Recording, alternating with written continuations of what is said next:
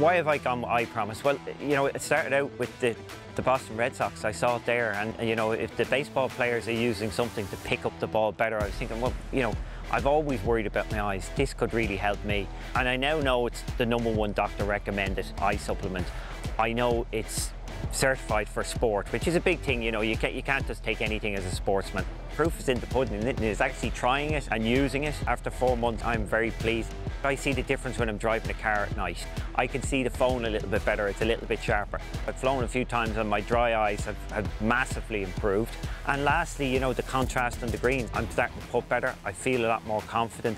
I'm just seeing sharper on the golf course, which you know, confidence, it's all about that confidence. It has done a lot for me at this stage. If they're promising more, great, but so far so good.